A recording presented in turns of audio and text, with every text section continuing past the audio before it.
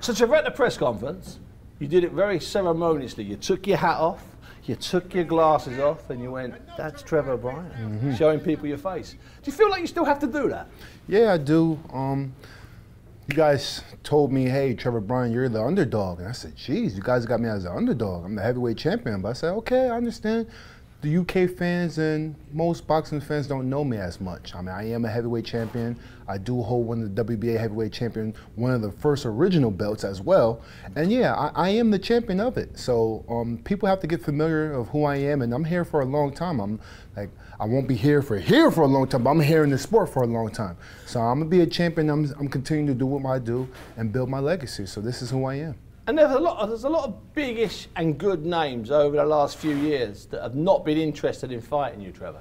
You know, th- th- those guys are decent fighters, and Mm-hmm. they've wanted nothing to do with you. Yeah, because they know who Trevor Bryan is. Um, like I said, the fans haven't seen me as much on network TV and stuff like that. But within the boxing community and boxing fans, people know who I am because word travels afar. You know what I'm saying? So all these heavyweight champions and all the other champions, these guys know who Trevor Bryan is. They're just waiting for this opportunity, just like this right now, for this stage, for me to showcase my talent against the world, so everybody will know. Now, I know you've been floating around the hotel and you might have seen Daniel Dubois. You know, you've seen him here and maybe you're getting a breakfast and he's there and you've seen him around. But today you came face to face, mm. separated by six or seven inches, and you mm. exchanged some words, you know, polite words, decent words. Could you get anything? Could you get a sense of the young kid, Daniel Dubois? I got a scent. A scent? Oh, nice, man. I've been saying the whole camp. I smell because that's what exactly what he is. He's a coward.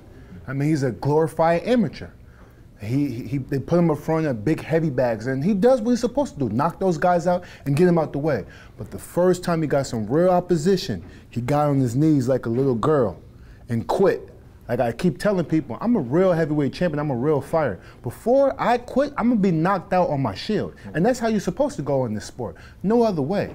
We don't, we don't, we don't, we don't wave no white flags. We're not Don King. We don't carry around with flags. We don't wave no flags around here. You gotta knock me out to take what's mine, and that's exactly what he came to do. He came all the way across the pond. Now, I, I give him, I give him, I commend him for that, for coming across the pond and going to somebody else's backyard to try to take what's theirs. But I'm gonna treat him just like that, a hostile enemy. I'm gonna take him out. It might, it might not be early, and it could be late, but best believe he's gonna touch that canvas. He's gonna taste it. And is that because you're a different type of heavyweight? You're an old school, well schooled heavyweight. Yes, exactly. It's okay. All heavyweights can fight. All no, not saying no. Excuse me. All heavyweights can punch. Okay. Yeah. But what can you do when you can't land your punch and somebody takes away your best punch? It's going to be a long night. Mm. I have all of that. I have all the skills to make it a long night for Dubois, and he's going to see why he's in there with a different top level champion. And you have got, and people talk about it all the time. Larry Holmes talks about it. Some of the guys you've fought talk about it.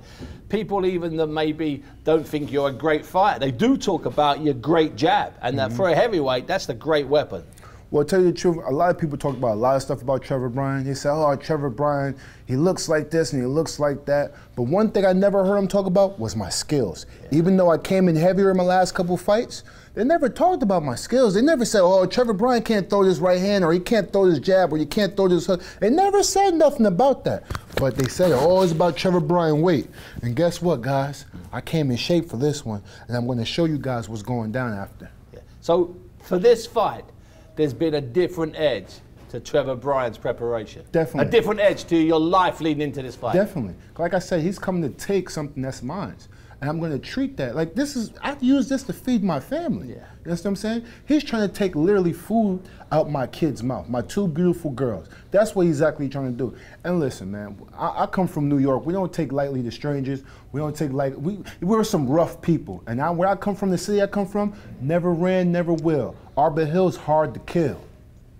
And that line you're using there about the idea that he's come to take food from the mouths of your two beautiful daughters, that's inspiration enough. Oh, yeah, of course. I'm not just doing this for the fame and all that. I am building my legacy. and like I said, I commend Dubois because he's a young fighter and he's coming up and he's a big guy. But at the same time, you chose the wrong fight. Maybe you should have went back and defended that loss that you got against Joy Joyce and build something else from there. But you came straight to the champion, and now you got the champion. You got to pay for it now. So you've got the respect for him for getting on the plane, but there's a question mark in your head over the way the Joyce fight finished. Mm-hmm. That correct? Yes, sir. And, and, overall as well, I just think he's a, like I said, he's a he's a he's an amateur. He's a he's a well groomed amateur. That's what I really think. Yeah, I'm a real seasoned man. You're going to see that June 11th. Now you're you're a sensible man, Trevor, with your feet firmly on the floor. But I'm going to ask you a little bit to just look a little bit into the Trevor Bryan crystal ball and just gaze into the future. Mm-hmm. In an mm-hmm. ideal world, what happens in the next six to 12 months in Trevor Bryan's life?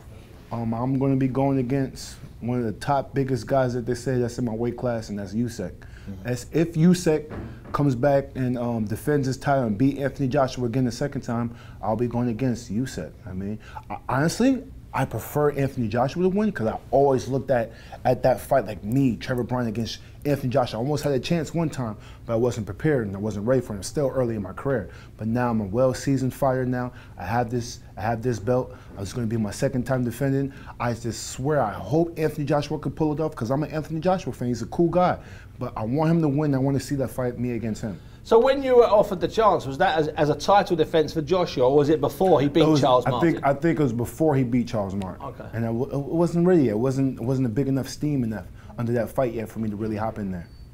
Um, I know that I love your attitude. Let me get that absolutely straight. I love your attitude. I love how straight and direct you are. But is there something in you, Trevor, that just feels a bit slighted by the lack of respect you sometimes get inside the business, and also the fact that those bookies have made you such a wide underdog? I was talking to Stacey McKinley in the lift earlier the, the, this week, and I've known Stacey on and off for a long time, going back to the early 90s, and, and he told me the odds they're quite outrageous in a two horse race, aren't they? Mm-hmm. I'm stunned. So, is there part of you that, even though you're putting on a brave face, is there part of you that's a little bit insulted and perhaps hurt by that? Um, I wouldn't necessarily say hurt because where I come from, people don't really think highly of anybody. You know what I'm saying? You have to prove so yourself. you have to prove yourself and prove them wrong, and that's what you write your story after. Oh, we, we, we had this stacked against him. He had this stacked against him, but he still prevailed for some reason, and that's why I'm the dream. I prevail. I manifest my own reality into what it is now today, heavyweight champion of the world.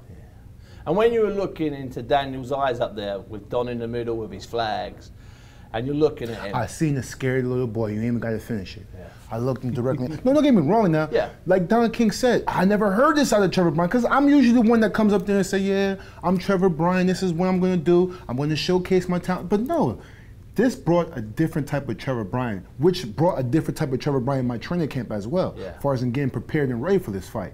Now, when I looked in his eyes and sat there and stared, you know what I really seen? I seen a little boy that actually bit off for too much. He asked for something, but he didn't really realize what it's really going to be till in that moment. Mm. And I seen that in his eyes today. Yeah. Like, damn, I'm really here. This is the fight that I've been asking for, and here I am. And look, this is another big guy that's that's woofing. But let's see what's going to happen on on Saturday. And guess what? He's going to get everything he ever asked for. Mm before the fight, we're a few days out from the fight, Trevor. Thanks for this. I won't keep you much longer. I know how busy you've been, and I know you've got an agenda things to do. But at this point in fight week, do you feel more switched on, more energized now than you've ever done? You, is, is there something inside you that acknowledges this is a big fight in my life, man? This is a big night. I've been preparing for this since I was 11. Honestly, ever since I became a boxer. You know what I'm saying? And I've been doing that for how many that many years? 21 years. I'm 33 now. You know what I'm saying?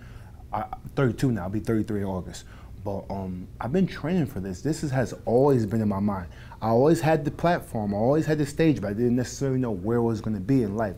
But this is it right here. This is the fight for me, for everyone to see that who Trevor Bryan is. Like I said, I took my glasses, and I took my hat off. This is Trevor Bryan to see and get used to him.